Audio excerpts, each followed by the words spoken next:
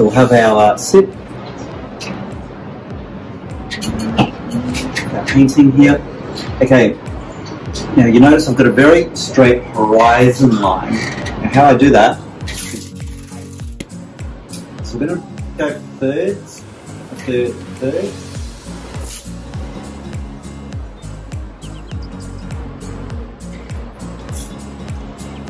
So we'll start on doing the sky here. So we've got our tape in so we can paint the sky down to the uh, tape. So what we're going to make first is pink. So pink, we're going to need some white and red.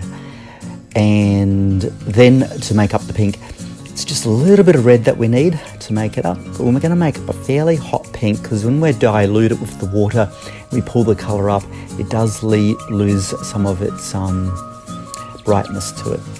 So we'll just grab a little bit of red there and put it in with some white and we'll mix up a fair little bit. We'll you just use some concentrate, maybe a little bit of water and we'll just put in that horizon line across on that tape.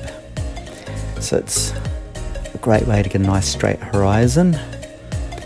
So we'll put that in fairly well concentrate and then we'll start using water to spread that colour up into the, uh, the rest of the painting there. So now I'm using a bit more water and spreading it out. So I'm just using water here, adding more and more water, just keep on spreading it up and that's where it does take out a little bit of that colour when it spreads it out. You can always add a bit more concentrate paint on there and then keep on spreading it up into the sky. So it's quite a, a nice afternoon sunset with this one. So we've got those nice colours going from an orange down to yellow. And then if the pink does hit the yellow, it turns to a nice apricot colour, so I don't mind that either. And then we've got our vibrant blue colour around the island. So yeah, I'll just be going through all this step by step showing you what to do. So normally I just sort of say try and keep up or um, I don't think you'll be able to work ahead, but sometimes we have some quick painters and manage to work ahead of me.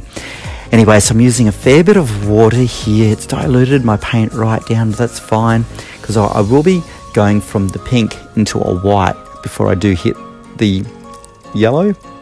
And that makes a little bit of a golden colour through there as well. So I paint this up a fair way, like at least half of that sky. Just keep on spreading it up, just keep on using water to keep on stretching it up. And then once we, uh, I, I, get to a fair sort of degree, I then will start on the orange and come back down and meet in the middle there. So I'm just using a fair bit of water. It doesn't matter if you actually wet the um, paper a fair bit because that's how the paint does spread is with the water and uh, that's the whole idea of watercolors. Don't worry about if, if your paper starts rippling up. That always happens with watercolors, and then it's going to dry out. When it dries out, it will flatten out a bit, or you can always flatten it after anyway, so that's fine. So that's just a 120 GSM paper out of a, um, a card book or paper book, drawing book.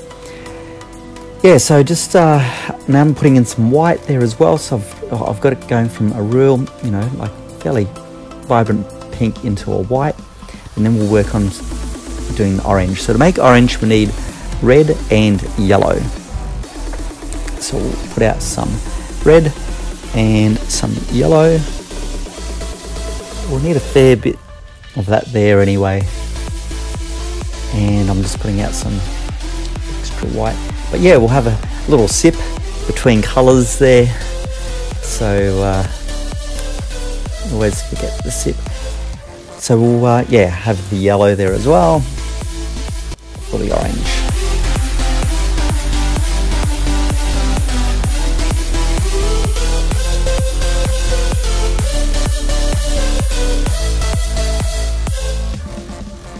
I hope you've been enjoying the paint and sip session. These are actually paid sessions, so you've just had a bit of a taster of the first part of the session. You can go online and just purchase the balance of it, and I've got a whole heap of variety of paintings available, so basically you can get a really good deal.